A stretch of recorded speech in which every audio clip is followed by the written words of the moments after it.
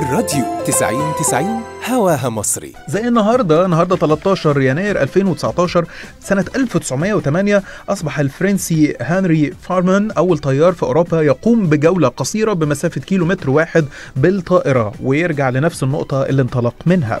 زي النهارده آه، 13 يناير 1930 ظهرت سلسلة أفلام الكرتون الشهيرة جدا ميكي ماوس.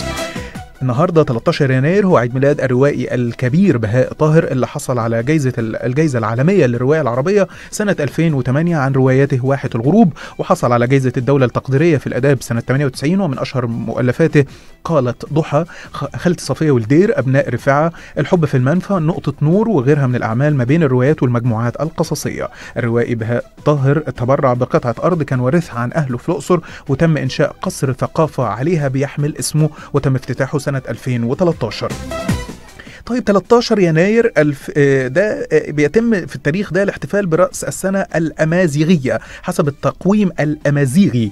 بتاريخ الاحتفال باليوم ده بيرجع لعهد الفراعنة. بعد ما هزم الملك الأمازيغي أحد ملوك الفراعنة في معركة وتولى منصبه سنة 950 قبل الميلاد ومن وقتها الأمازيغ يحتفلوا باليوم ده في كل سنة كذكرى. والسنة دي هي س... آه، والسنة دي تعتبر هي بالنسبة بتقويمهم سنة 2969 بالتقويم الأمازيغي. 2018 كانت أول سنة يتم فيها الاحتفال برأس السنة الأمازيغية في الجزائر بشكل رسمي بعد اعتماده كعيد وطني وأجازة رسمية هناك.